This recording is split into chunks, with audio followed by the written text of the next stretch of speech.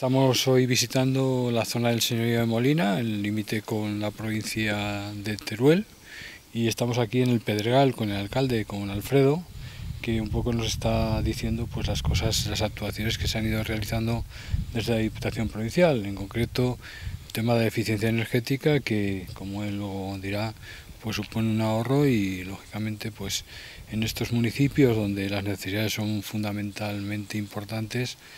pues todo lo que suponga a nivel de obras de eficiencia energética, planes provinciales, el tema de colectores, pues ahí tenemos que estar la Diputación.